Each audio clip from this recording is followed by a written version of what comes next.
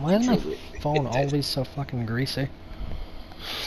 Cause it's a goddamn nigga.